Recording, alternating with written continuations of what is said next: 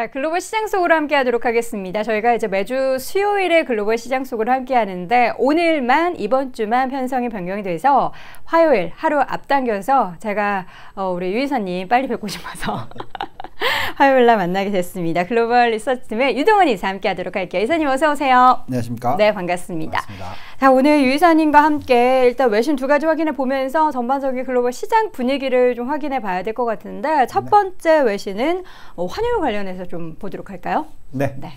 어, 오랜만에 좀 달러 얘기를 좀 해야 될것 네. 같습니다.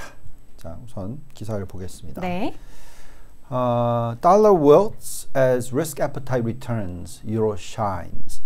자, 음, 위험 자산에 대한 관심이 확대되면서 음, 달러가 약세 추세로 접어들었다. 뭐 이런 내용이고요. 또 유로도 좀 강세를 보인다. 뭐 이런 내용입니다. 어, 지금 이 기사를 보면은 또 이게 타이틀이 좀 바뀌었네요. 어, 이 달러가 안정을 찾고 있다. 뭐 이렇게 지금 또 올라오기도 있습니다. 네.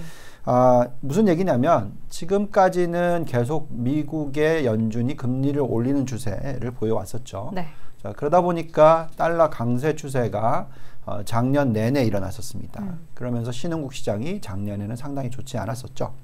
어, 거의 뭐 88, 89 수준부터 거의 97까지 뭐 상승하는 모습을 보여줬었으니까 거의 10% 가까이 절상이 되는 모습을 보여주다 보니까 신흥국 시장이 상당히 안 좋았었습니다. 근데 어, 최근의 흐름을 보면은 달러가 음, 거의 뭐 97.6 수준의 선물까지 갔다가 꼭지를 찍고 어, 천천히 지금 하향 조정되고 있다라고 말씀을 드리겠고요.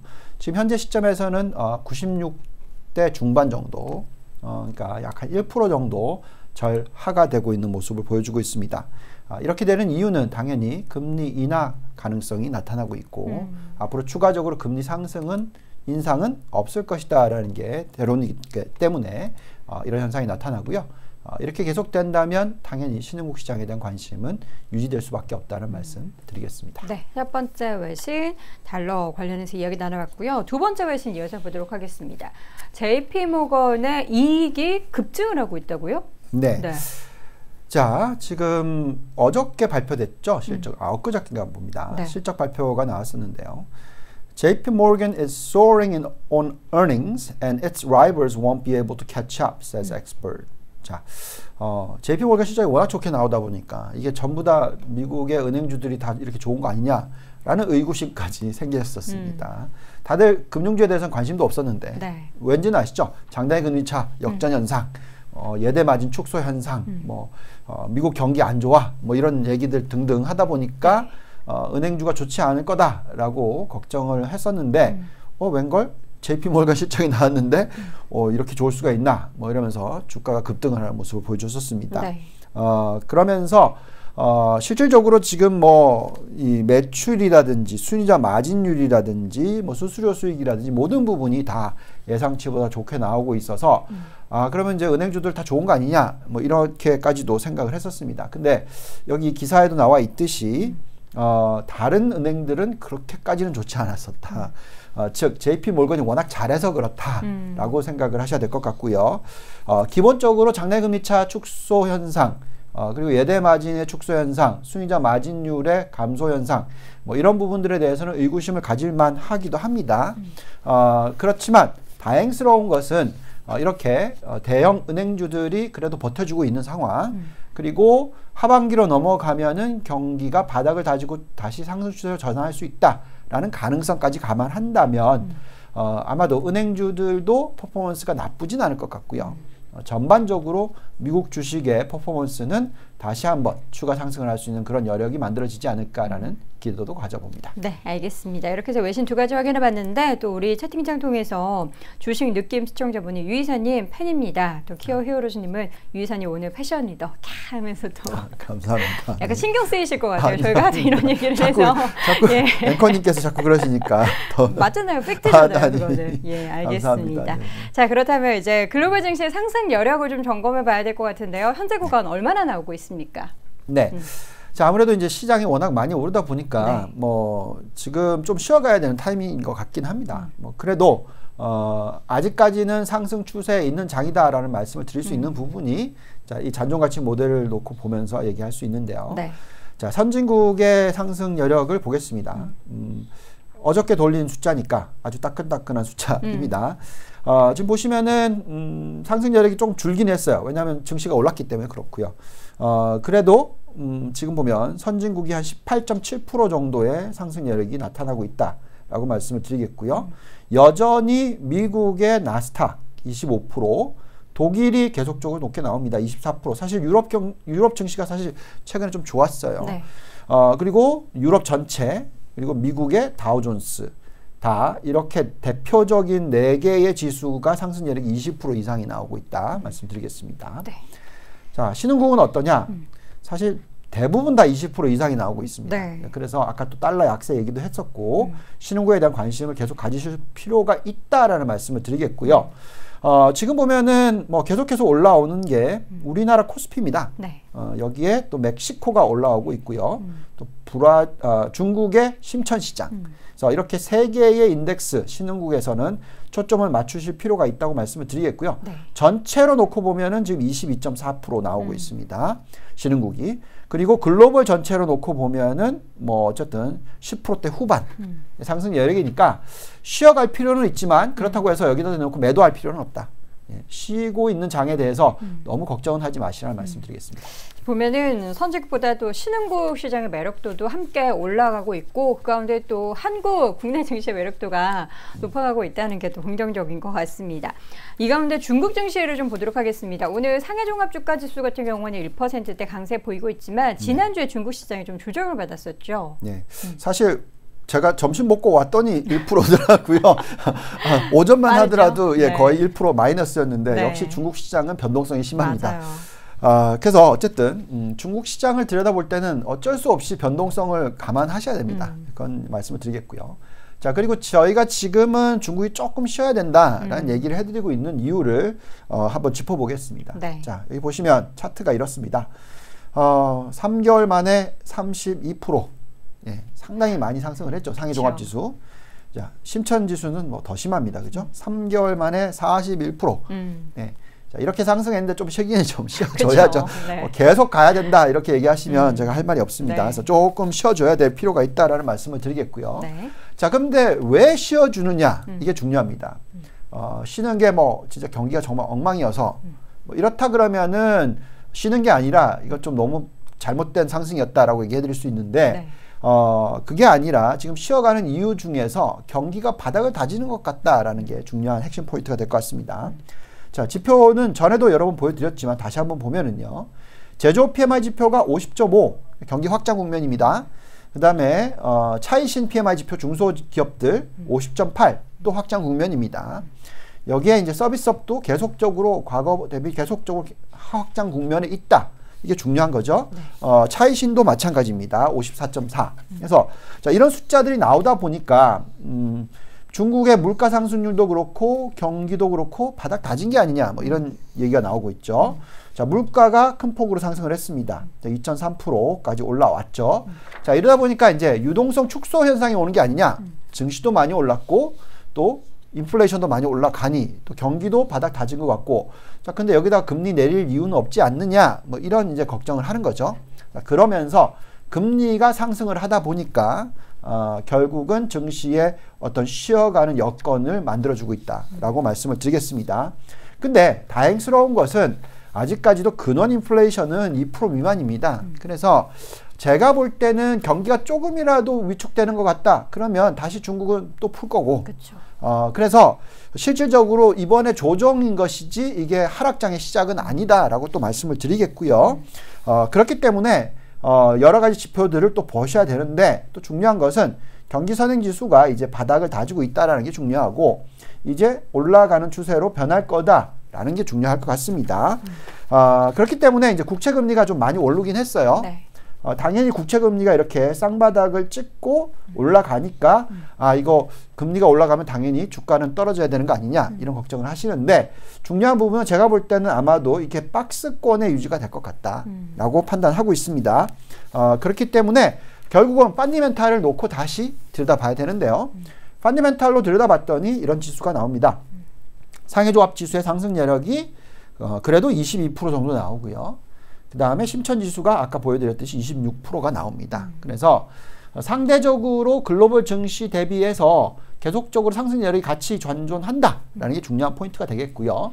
어, 또한 경기 또 바닥을 찍고 있으니 너무 많이 올라서 쉬어가고 여기에 만약에 좀 조정이 받으면 조정이 있으면 이것을 투자 기회로 삼는 것이 맞다라는 말씀 드리겠습니다. 네. 근데 그게 좀 빨리 와가지고 점심 시간에 올라가 버리네요.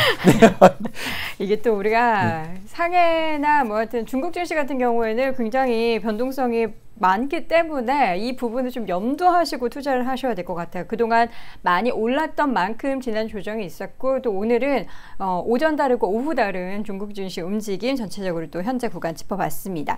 글로벌 경기 전체적으로 이 둔화와 함께 침체에 대한 우려는 여전히 사실 우리에게 그림자로 남아 있습니다. 최근에 이제 경기 선행 지수 발표된 부분을 좀 점검을 해볼 필요가 있을 것 같은데요. 어떻습니까? 네.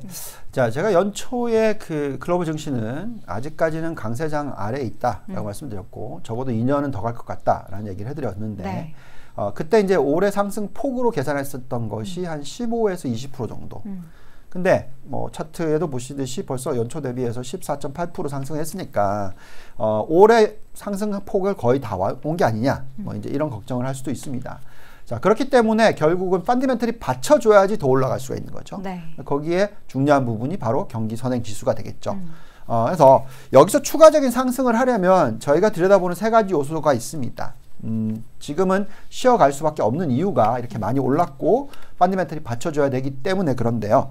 어, 세 가지 요소로 들여다보는 것이 무엇이냐면 첫째는 당연히 금리 인하입니다. 그래서 미 연준이 금리를 인하하거나 아니면 중국의 인민은행이 금리를 인하하거나 제일 큰 G1과 G2가 금리를 인하한다면 또 상승 모멘텀이 생깁니다. 그다음에 두 번째는 미중 무역 협상 타결이 되겠죠. 당연히 작년에 그렇게도 고생시켰던 내용이 미중 무역 협상 타결. 이 부분이 일어나면 실질적으로 경제 성장률이 회복할 확률이 높습니다. 작년에는 오히려 경기 둔화를 일으켰기 때문에 그렇죠. 그다음에 세 번째가 계속 말씀드리는 이 경기 선행 지수. 자, 경기 선행 지수는 아직까지는 여기 지난번에도 보여드렸던 것 같은데 보시면은 하락하고 있어요. 네. 99.6, 99.4, 99.3, 99.2 계속 하락합니다. 조금씩. 예, 조금씩.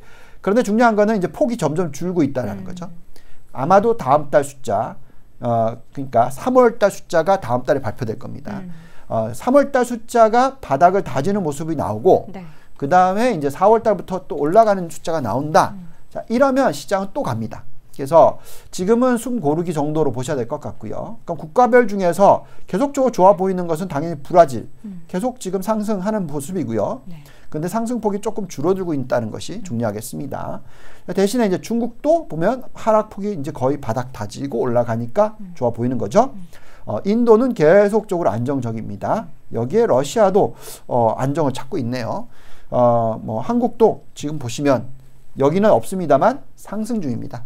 그렇기 때문에 또 한국이 더 탄력이 생기는 그런 모습이 되겠습니다. 어쨌든 중요한 부분은 결국은 경기 선행 지수가 언제 바닥을 다지느냐, 또 금리가 언제 인하되느냐, 자, 이런 부분들이 시장을 끌고 올라갈 수 있는 부분이 되니까 어, 앞으로 그런 부분을 보셔야 되겠고 아까 말씀드렸죠. 한국 경기 선행 지수는 바닥 찍고 올라가고 있다. 라는 말씀 드리겠습니다. 그럼 이제 앞서 저희가 확인했었던 경기 선행지수 부분을 확인했으니까 이제 금리 인하 부분에 있어서 그 가능성과 또 시기를 좀 예상해 볼 필요가 있을 것 같은데요. 어떻게 좀 나오고 있습니까? 네. 자, 이제 금리 인하 부분은 어, 실질적으로 일어날 거냐 안 일어날 거냐 하는 음. 부분에 있어서는 제 개인적으로는 금리가 인하되지도 않고 음. 인상되지도 않고 그냥 쭉 계속 보합 예. 옆으로 가는 게 더 좋다. 자, 이게 무슨 얘기냐면 그러면 투자자들이 훨씬 편합니다. 왜냐하면 급등했다가 급락했다가 이런 현상이 안 나오고 꾸준히 계속 올라가는 장이 나오니까 음. 그게 훨씬 더 좋은 모습입니다만 어, 그래도 참 시장이 그렇게 녹록지는 않죠. 음. 항상 예상보다 빨리 움직이고. 네, 또 빨리 빠지고 뭐 이렇게 합니다. 그래서 결국은 금리 인하를 할 거냐 안 할 거냐 하는 부분 좀 보겠습니다. 어, 최근에 이제 물가 상승률 자체가 반등을 했어요. 미국의 물가 상승률이 쭉 하락해서 만약에 이런 숫자 1.5%가 계속 나온다. 그러면 쟤는 아마 금리 인하 곧 할 것 같다라고 말씀을 드렸을 것 같습니다. 근데 최근 보시면 이게 반등을 또 해버렸습니다. 그래서 1.9% 정도의 반등. 이거 왜 그러냐? 당연히 유가. 그리고 또 어, 음식료 가격이 좀 올라갔어요. 그래서 이런 부분들이 반영이 됐습니다.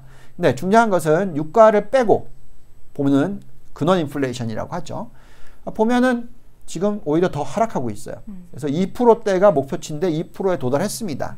자, 그래서 조금만 더 따, 빠진다. 그러면 저는 미 연준이 금리를 내릴 수도 있다라고 생각을 하고 있습니다.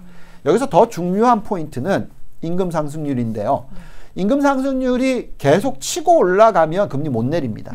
근데 지금 보시면 2017년 고점 대비해서 조금씩이나마 자꾸 하락하고 있다라는 게 어, 이렇기 때문에 금리를 인하할 가능성이 좀 높아지고 있는 것은 사실이다. 그래서 어, 이런 환경에서는 어, 우리가 생각할 때 금리가 인하되고 증시가 다시 한번 튀는 그런 모습이 나올 확률이 이제는 52% 이상이다 정도로 보시는 것이 좋겠고요. 어, 어쨌든 어, 이런 상황에서는 조정은 필요하지만 주식을 지금 던지시면 안 된다라는 말씀 또 한 번 드리겠습니다. 네. 워낙에 우리가 작년에 좀 무서운 시즌을 경험을 해서 살짝만 조정을 보이면 이러다가 이제 추가적인 큰 폭의 하락이 나타나는 것이 아닌가라는 두려움은 당연히 심리적으로 있을 수 있겠지만 계속해서 전반적인 상황을 여건해 봤을 때는 어, 상승 뒤에 건강한 조정은 있겠지만 이게 추세 하락을 의미하는 것은 아니다. 지금 시점에서는 전반적인 뭐 지표들도 그런 부분들을 좀 뒷받침하고 있는 것 같습니다. 자, 최근 시장 가운데 좀 화두로 떠오르고 있는 5G 관련된 이야기를 좀 해보도록 하겠습니다. 관련한 뭔가 모멘텀이나 가시화가 올 하반기에 나올 것이다 라는 이야기들 어, 나타나고 있는데 이사님도 네. 그렇게 좀 생각하시나요? 네, 음. 그러니까 저희가 이제 방송 만들기 시작했죠, 그죠? 네, 지난주 금요일 날 네, 네, 열심히 만, 이야기했죠, 예, 열심히 저희가? 방송을 만들었고, 네. 자, 그 부분에 있어서 다시 한번 좀 짚어보도록 하겠습니다. 네. 자, 음, 하반기에 여러 가지가 맞물려 있어요. 음. 그 삼성전자의 폴더블 폰. 곧 나와요. 예, 곧 나오는데. 사실 거예요? 혹시 240만 원 정도? 너무나 사고 싶은데 돈이 네. 없어서. 어, 네. 너무나 사고 싶습니다만, 예, 이게 네. 중요한 거죠. 사고 아, 싶다. 이사님이 없으시다고 하면 어떡해요. 네. 어, 좀 비싸죠. 너무 예, 비싸요. 예, 좀 비싸죠. 그래서 어, 근데 중요한 거는 음. 이미 예약 판매 다 됐대요. 그래요. 예. 그러니까 그렇게 산 걸까요? 아, 그러니까 사고 살 수 있는 사람들은 많은 거죠. 그쵸. 예, 이게 중요한 것은 그만큼 수요가 있느냐. 그쵸. 자, 이게 이제 음, 전환 시기라는 맞아요. 거죠.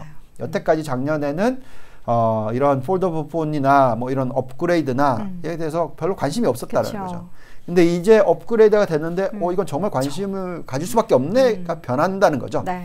그렇기 때문에 여기에 중요한 것이 또 5G도 이제 연결이 음. 되는 거죠. 그러니까 이제 어 중국에서는 우리가 더 잘한다 5G. 음. 한국 저리 가라. 뭐 이런 미국에서도 뭐. 난리예요. 미국에서도 지금 뭐라 그러냐? 트럼프 대통령이. 나서 가지고 네. 우리는 뭐라 뭐라고 했더라고요. 보시죠. 트럼프 대통령이 아. 5G를 최대 강국으로 키우기 위해서 모든 걸다 지원하겠다고 그쵸. 이야기를 하고 있어요. 예, America must win 또 네. 나왔습니다. 아, 아이고, 참. 네. 예, 자, 미국을 너무 사랑하다 보니까 네. 이분께서 어, 5G 이니시티브에 대해서 꼭 음. 1등 하겠다. 음. 뭐 이렇게 얘기합니다. 네. 중요한 거는 우리는 감사해야 됩니다. 음. 왜냐? 5G가 되면 네. 반도체 수요 계속 늘어납니다. 그쵸. 예, 그래서 결국은 정말 어, 쌀 같은 음. 음, 이 4차 산업혁명에서 가장 어떻게 보면 핵심인 그렇죠. 예, 반도체. 음. 음, 우리는 그것 가지고 먹고 살 수 있는 네. 여력이 생기니까 네. 절대로 절대로 미국 아, 나 중국에 내주면 안 되겠습니다. 음, 음. 뭐 중요한 건 결국 어쨌든 이 저금리 시대에 4차 산업혁명과 연결돼서 어, 5G가 연결이 되고 이게 또 클라우드랑 연결이 되고 음. 또 이 부분이 AI와 연결이 되고 자율주행과 연결이 되고 음. 자 속도가 어, 작년에는 좀 더딘 것 같았을 수도 있습니다. 작년 하반기는. 그러니까 이제 디램 가격도 빠지고 수요가 안 좋은 거 아니냐, 클라우드가 좀 안 좋은 게 아니냐, 뭐 AI 늦, 뭐 늦춰지는 거 아니냐 등등 얘기가 나왔는데 네. 자 이제 점점 기대가 만들어지고 있죠. 그리고 하반기에는 제가 볼 때는 가속화 될 것 같습니다. 음. 자 만약 그렇게 된다면 당연히 우리는 관련주들을 사야 되고 어, 지난주 금요일날 방송 만들어졌으니까 꼭 보시고 네. 거기 종목들이 있는데 음. 자, 오늘 말씀드릴 것은 또 추가적으로 종목들이 좀 있습니다. 어, 어떤 게 있냐면은 클라우드 컴퓨팅. 네. 예. 어, 그 ETF가 있는데 음. SKYY라는 ETF입니다. 음. 어, 그래서 어, 들여다봤더니 잔존 가치 모델상 상승률이 굉장히 크게 나옵니다. 네. 어, 지난 글로벌 주식 속으로 말씀드렸던 게 나스닥, 음. 그죠? 그리고 속스 반도체, 네. 어, 그리고 IYW, W, RYT, 그래서 전체 업종이었죠. 음. 근데 여기서 좀 더 자세하게 들어가서 어, SKYY는 다시 말씀드려서 클라우드 비즈니스. 제가 AI cloud 데이터 센터 정말 중요하다고 말씀드렸고요. 상승률이 높게 나오고요. 그 다음에 또 파괴적인 혁신 기술이라고 해서 ARKK라는 게 있는데 뭐이 부분도 들여다보실 필요는 있을 것 같습니다. 네. 어쨌든 중요한 다시 포인트를 가지면 하반기 어, 4차 산업혁명의 가속화 꼭 기대하실 필요가 있고 관련 투자를 늘리실 필요가 있다 말씀드리겠습니다. 저희 채팅창에 저번에 보니까 5G 관련해서 미국 주식 관련한 기업들 궁금하다라고 뭐 올려주셨던 분들도 있었는데 ETF 관련해서는 저희가 지난주 글로벌 주식 속으로 통해서 또 새로운 ETF 하나 더 오늘 SKY와 ETF까지 소개해드렸으니까 관련한 투자에 관심 있으신 분들은 어, 이 종목들 꼭 체크해 보시기 바랍니다. 자 오늘 글로벌 시장 속으로 이 시간 글로벌 리서치 팀의 유동원 이사님 함께했습니다. 말씀 고맙습니다. 감사합니다. Thank you.